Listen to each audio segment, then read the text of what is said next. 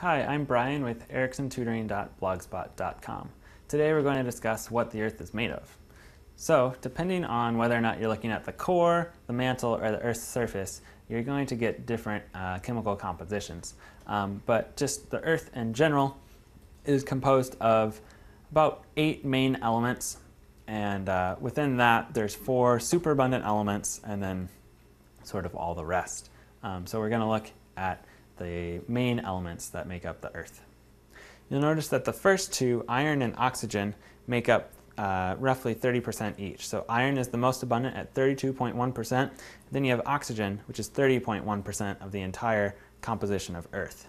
The next two are silicon and magnesium. They're roughly around 15%. So silicon is 15.1 and magnesium is 13.9. Um, it's worth noting that the majority of iron consists or take it occurs in the core, and uh, a lot of these other ones occur in the outer layers of the Earth. Um, you also have um, four additional elements that occur in much smaller amounts. Sulfur is at 2.9%, nickel is at 1.8%, calcium is 1.5, and aluminum is 1.4, with all the other elements only taking up 1.2% of the Earth's composition. So now when the Earth formed, um, there was this differential separation of elements, and a lot of the really, really heavy elements made their way to the core or the center, and a lot of the lighter ones um, went towards the surface. Um, so we're just going to examine the core to look at just how different its composition is.